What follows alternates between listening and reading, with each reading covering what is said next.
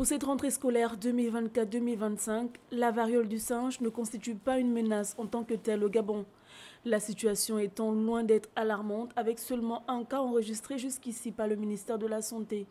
Toutefois, des mesures urgentes seront appliquées dès ce lundi dans l'ensemble du territoire. Les instructions de Madame le ministre sont claires. Nous avons l'expérience de la Covid-19 où un dispositif sanitaire avait été mis en place avec le respect des mesures barrières, avec euh, la digitalisation de l'enseignement, l'enseignement à distance.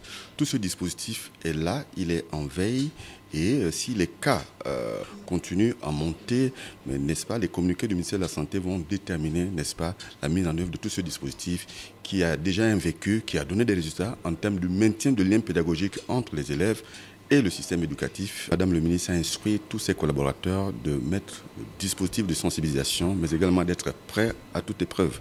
Donc à ce niveau-là, nous n'avons aucune inquiétude. Mener à bien cette rentrée de classe, des mesures d'assainissement des établissements publics sont prévues conformément au programme établi par le ministre de tutelle. Pas plus tard que hier, Madame le ministre a tenu une réunion de CODIR avec l'ensemble des partenaires sociaux, l'ensemble de l'administration, pour donner le cap toutes les dispositions sont prises, que ce soit au niveau des infrastructures, que ce soit au niveau des ressources humaines, au niveau des programmes, au niveau du pilotage des établissements pour que tout ceci soit prêt.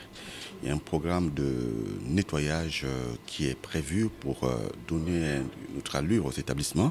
Il y a des chantiers qui sont pratiquement en phase d'achèvement en termes de réhabilitation et d'équipement et de construction euh, via, le, via le CTRI.